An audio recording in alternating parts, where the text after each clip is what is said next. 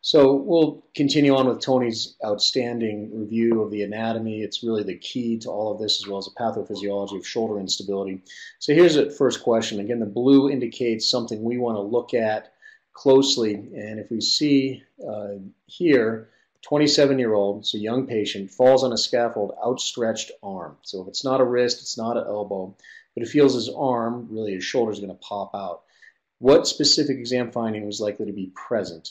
And so with this, we're going to find, go through these, and the most appropriate answer is Kim's test because uh, we have the x-ray demonstrating here you had a posterior subluxation, you had the radiographs, and the Kim's test is a posterior subluxation dislocation event where you've actually torn the posterior labrum and or the capsule. We'll go over this Kim's test finding in a second, but it's basically putting posterior stress on the labrum and evoking pain which is the difference between anterior and posterior instability. Is posterior instability uh, demonstrates pain with provocative maneuvers, sometimes instability, but pain is the predominant finding, whereas anterior instability is clearly an apprehensive type of finding. As we see here, 50% of the traumatic posterior dislocations remain undiagnosed. This is what you may be questioned on because it is the number one claim seen in an emergency department in terms of posterior shoulder dislocation. The risk factors of this are bony abnormality or pre-existing ligamentous laxity, and there might be some frequent flyers in the emergency department with uh, multi-directional uh, type of issues, especially with a posterior dislocation as Tony very nicely reviewed, he's done a lot of work on this, is the number one thing we see is subluxations, dislocations, is the posterior band of the inferior glenohumeral ligament is torn. Next, we also see posterior Bankart lesion, which is the same thing as a posterior labral tear or posterior Bankart. A reverse Hill-Sachs, as we'll show in a second, is associated with non-reducible and difficult to reduce dislocations, a posterior labral cyst can have chronic reverse Bankart implications. We actually develop a cyst posteriorly, and it's very unique to posterior instability. Anterior instability does not develop this. They can also be a posterior glenoid rim fracture or an impaction fracture. There could be a lesser tuberosity fracture that's also associated with posterior dislocation, and you can get a very large capsular pouch. The posterior band of the anterior glenohumeral ligament, as Tony nicely pointed out, is the primary restraint in internal rotation, especially with the arm in forward flexion, and internal rotation. Uh, the superior glenohumeral ligament, it also statically stabilizes posterior subluxation with flexion, adduction, and internal rotation. And it also deepens the glenoid, as was pointed out earlier. These are generally acute versus chronic, as well as voluntary versus involuntary. But unlike anterior instability, with posterior instability, involuntary is not always that bad. People can uh, push their shoulder out of joint, but it, if they have a posterior labral tear, they may be amenable to surgery, and they're not what we call the psychiatric uh, issues uh, issues after the uh, after a instability uh, event. Here's another good question here. This is a classic question. 26-year-old football offensive lineman. So you almost already know the answer to as soon as you start with the first five words. Positive jerk test, positive Kim test. Most likely diagnosis here is posterior labral tear. And here you can see a posterior labral tear very nicely. It's a little bit different from the anterior tear because of the way the glenoid and the labrum morphology is. But you can see uh, here either an acute event where the blood forms a hematoma and you can get a very nice almost arthrogram image. Or if you have gadolinium, you can see that posterior labral tear. And actually, there's a secondary component where you actually may have a small flap of the labrum, which is also specific to posterior instability. When you look at this uh, from, we looked at this, and there's a nice review article that reviewed and reviewed a lot of our patients with this, especially uh, people that did a lot of bench pressing in the military and football players. They demonstrate pain with flexion, adduction, and internal rotation of the arm. So it's this provocative maneuver here in the front. Examination demonstrates prominent posterior shoulder and coracoid, especially if it's subluxed. And if it's dislocated, this is the key. The shoulder is locked internally rotated. So they come in and they're perfectly fine because they're just wearing a sling. And so that's why this is the number one shoulder missed diagnosis in the emergency department and something you're likely to get tested on, as we'll show here in a second with radiographs and good examination. We do want to get a good positive posterior load and shift, and here you can see it here. We're going to translate, hold the scapula stable from behind. Uh, your clothes have to be off to be able to palpate the scapula, and you're going to be able to move this around back and forth and see if you can posteriorly strain the inferior capsule. So if we can play this uh, video, you can see a good posterior load and shifting exam. And the arm is in flexion and internal rotation, which is straining the posterior band of the inferior glenohumeral ligament, as well as the posterior labrum. And you also get a click as this humeral head subluxes over the back. And there's that flexion, internal rotation, and a posterior applied load. He does not like that. It's very painful, and you can see we're just doing this here uh, a couple times to demonstrate the test. This is all very akin to the jerk test, and you can get a clunk here. And we almost showed a jerk test here because we had a clunk and they had a positive posterior subluxation. The arm in 90 abduction, internal rotation is a little bit different. But again, a positive jerk test, a positive posterior load and shift indicates posterior instability until proven otherwise. Here's another good question. A football player Again, first few words, we're already thinking about that. Subluxes shoulder while blocking. Why is blocking an issue? Because the arm is in internal rotation and flexion. The jerk test is positive. The most likely pathology here? Well, you could say maybe a Bankart lesion, but the more appropriate uh, answer here is the Kim lesion. You can see some people here, 15% on orthobullets who put Bankart. Maybe that's the uh, shotgun rea uh, reaction of answer. Maybe it is a Bankart lesion, but the more appropriate and better answer here is the Kim lesion. The Kim test is demonstrated here, and here's a very good article uh, from 2005 when Sung Ho Kim out of Korea described this. It's positive when pain is present. Remember, it's not necessarily apprehension. It's positive with pain. The patient is seated, arm 90 degrees abduction, flexing the shoulder forward 45 degrees of forward flexion, and then you apply this axial load on the elbow and a posterior inferior force in the upper humerus. Basically, you're stressing the posterior inferior aspect of the shoulder, and a posterior stress test is the same type of thing where you elicit pain, and that's a positive test. This is a load and shift grading. Uh, you may be tested on this, uh, but it mostly will be in a question stem. They'll say the patient comes out 2 plus, it translates to the rim or translates over the glenohumeral rim, and it's symptomatic. That's instability posteriorly till proven otherwise. The radiographs are very important with posterior instability, especially in the emergency department. This is where your question is going to come from. The axillary lateral, the best view to demonstrate a dislocation. Here you can see it here. You got a posterior dislocated shoulder. Your coracoid, you always want to look for. Here's your coracoid that always points anterior, so we know the shoulder's in the back. If the patient can't abduct the arm for axillary. They're too painful. They have too many problems in the shoulder. Uh, you, uh, we want to get a Velpeau view. This light bulb sign indicates also a posterior subluxation or dislocation event.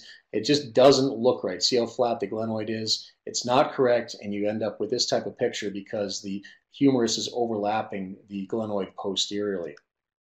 Here's a big one with a big, large reverse Hill Sachs that's locked. And this is a big problem. You can see that this can be easily missed unless you get a good uh, image, but this is a Velpeau view, which you can get the image and show it well. So here we go. Another good question. 32-year-old male electrical worker, isolated right shoulder pain, a fall from six, week, uh, six feet.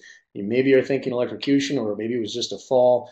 Uh, we always think about seizures, electrical workers, shocks. Those are the ones that get posterior dislocation because the muscles just pull that shoulder forcibly back. You can't get a good axillary view. What's the next step in management in the emergency room to get the diagnosis and see what you need to do? Well, MRI, as we all know, is not great.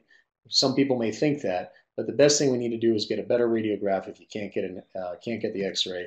And here we are here. We're going to get the Velpeau view, and that's the correct answer. CT scan may be a correct answer. I'm going to go back. CT scan may be a reasonable answer because we have CT is very easy to get in the emergency, most urgent emergency departments, but it's not on here uh, for a reason, but that could be an appropriate answer as well. We do like that for chronic dislocations to assess for bone loss and other issues. You can see that major bone loss here. Uh, MRI is very good, especially an arthrogram, even better, or an MRI with a hematoma after an acute injury, and the hematoma lights up very nicely like this gadolinium, and you see can see a Kim lesion of the deep inferior labrum. Here's another good example of a Kim lesion. The anterior labrum right here is perfect. The Kim lesion here demonstrates a crack, and that's a, a partial posterior labral tear due to recurrent posterior stress in the posterior labrum. Here's some more examples. This is posterior stripping of the posterior labrum and capsule, and uh, also a little bit of a bone injury here. You almost have a bony avulsion back here. That are some other examples uh, demonstrated here. Uh, you can also see it on the sagittal oblique image. Here you can see uh, tearing and stripping all the way down here of that posterior inferior labrum. And that's another good image. Here's, uh, I'm sorry, posterior inferior back here. Uh, here's the anterior labrum. It probably extends up here in the front a little bit, but you can see that the posterior labrum is completely torn off as well as the inferior glenohumeral ligament posteriorly. Non-operatively, if they dislocated, we immobilize it just like anything else. This is always attempted for all your posterior dislocations, and that's your that's also a question. What's the treatment of choice for initial posterior dislocation? Is uh, reduction and then immobilization and external rotation. Most of them reduce spontaneously. It's recurrent subluxation episodes, recurrent spontaneous, uh, excuse me, recurrent uh, micro trauma when you're lifting, when you're blocking football. Uh, the technique at 10 to 20 degrees of external rotation with the elbow at the side, and then you can advance physical therapy. Well, what about the treatment? If you look at Jim Bradley's work, and he's got now 200 of these shoulders he's followed for a long time, and 89% of these are able to return to sport. So it's very successful arthroscopically to repair these if you have recurrent posterior instability with a labral tear or a Kim lesion, and they do very well and get back to their sports. You can do a capsular shift as well as a labral repair, and we will talk about rotator interval in a second, but you may want to consider rotator interval closure, which is the front of the shoulder as demonstrated here, if you have a high Beighton score or hyperlaxity, and that could certainly be something to add in. And you might almost be in a multidirectional type of instability patient with that, so you might want to add that in as well. Uh, opening wedge osteotomy, if you have glenoid retroversion, that may be an answer and a question, uh, although it's highly controversial. And then large reverse Hill Sachs are for chronic dislo- with chronic dislocations. Usually these are uh, a long time out. Uh, you have to manage these reverse Hill Sachs with uh, transfer, such as the McLaughlin procedure. I'll show you that in a second. Uh, the arthroscopic repair is shown here. You can do anchors and sutures. Uh, this has also been a question. Uh, lateral decubitus probably visualizes, and I know Tony and I are certainly uh, biased on this, but the lateral decubitus really allows for improved visualization. This high lateral portal here, this 7 o'clock posterior lateral portal that Tony and I have also written up is a really important portal to get in the right, uh, in the right position. Rotator interval, the, the area between the supraspinatus and subscapularis. It augments the shift. It's controversial. I'm going to show a little bit more here in a second. Um, thermal shrinkage, this is historical. Uh, many of you have probably not even seen this or heard of it but it's really contraindicated at this point due to many complications. Back in the day, we thought that you could shrink the collagen, it breaks the collagen cross-links, it relinks it, but what we found was that the tissue uh, was irreversibly damaged, and we couldn't, and the capsule became a big issue, and we just didn't enjoy the same results as a classic Bankart type of repair. Complications uh, can be stiffness, recurrence, necrosis, and we want to uh, immobilize these for anywhere for about five to six weeks and focusing on scapular strengthening and stabilization, which is really key in posterior instability. Here's a uh, reverse Hill Sachs. Uh, here's a reverse Hill Sachs here. I'll point this out with a green arrow. And here's a McLaughlin procedure where you actually transfer in the lesser tuberosity. So you cut off the lesser tuberosity here, transfer it in, and fix it with anchors. You can also use iliac crest bone graft or some certain allografts to help reconstruct the cartilage here that is missing with a reverse Hill Sachs. Uh, so here's the McLaughlin complications, stiffness, AVN, avascular necrosis, because you're cutting lesser tuberosity, as well as osteoarthritis. Hemiarthroplasty is occasionally indicated, especially in the slightly older person, if they have a very large lesion, and this is the test question, more than 50% of the articular surface more than six months old. If they have these types of things in there, and it'll be pretty obvious, a hemiarthroplasty is the right answer. Total shoulder, if they have glenoid arthritis or glenoid problems, in addition to a humeral head, usually in that older patient over age 60 to 65, then you're thinking about a total shoulder replacement so that they can function reasonably well without pain. Most common complication after labral repair, you may get this, is stiffness. The next most common is recurrence. Stiffness is usually not a big issue for most patients, though, and it's usually only usually less than 10 degrees in certain planes. The plane you're going to lose it in posterior instability repair is internal rotation. So as you're looking down here, uh, you have a loss of internal rotation. You can get some degenerative joint disease. We really don't know if this is due to the instability itself, the initial instability event, shearing the cartilage and just injuring it, or uh, due to other uh, issues, even post-surgical. If you enjoyed this video, please consider leaving a like. We'd love to hear your thoughts and what you'd like to see next in the comments. Don't forget to subscribe to our channel and follow us on social media.